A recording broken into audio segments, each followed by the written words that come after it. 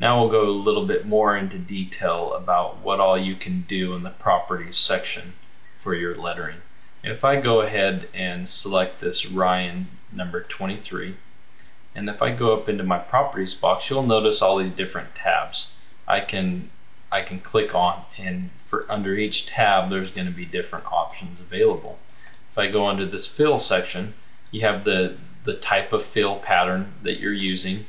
um, your standard I can go in and I can actually turn that text into a fill pattern instead of a satin stitch and also you can adjust the stitch length and the density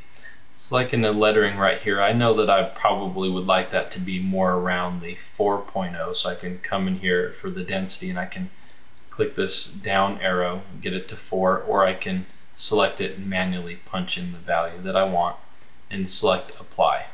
And now what that did is that actually went in and it changed the density of the stitches to make it a little bit tighter. Now if I go over into the run section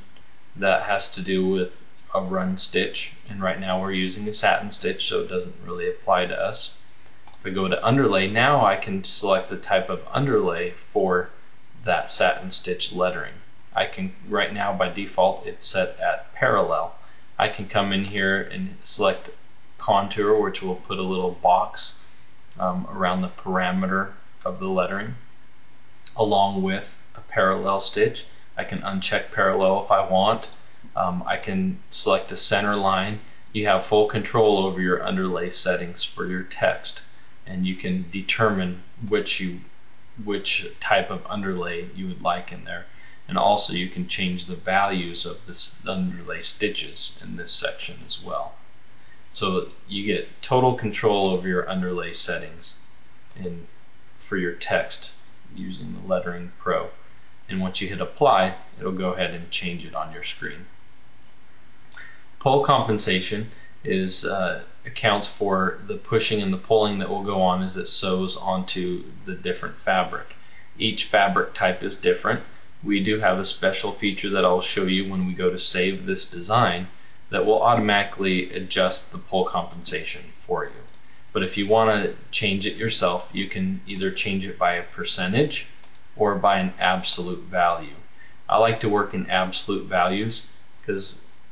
I like to go in there and if I'm not using our save to sew technology feature I will go in there and select the value myself like let's say a, a two points this will put two millimeters of um, additional width um, for each column in the lettering you'll notice that as I hit apply it made the um, stitching wider and that is to account for the pulling that's going to go on as it sews out, it'll actually end up sewing in the original size that I had it at right here once it's finished. It's because part of it's going to pull and sink into the fabric a little bit and it'll make the column actually sew out. Um, when you sew out an embroidery design it'll end up being skinnier than what you see would set up for and that's why you use your pull compensation to adjust for that so that when it sews out it'll look how you originally intended it to. So then you have your generals tab where you can go in and you can change the the connection ends from sharp to a zigzag and you can see over here it shows you a little image of it a chiseled effect and a square effect um, sharp is is the default. And then we had our commands tab, which I showed you. Under the start, you can tell it that you want it to start that off with a um, normally with a jump stitch, with a trim, however you want it to to start before it actually starts sewing the lettering, and how you want it to end. You want it to end with a trim, so once it's all the way done, it's going to end with a trim and that's a that's a good thing to do if if the next object is in the same color as the text. I usually like to tie in lettering anything with the satin stitch. I will tie it in with a basic and I will tie it off with the basic. And I just showed you how you can change the colors and the trims go ahead and hit apply so those are some of the the features that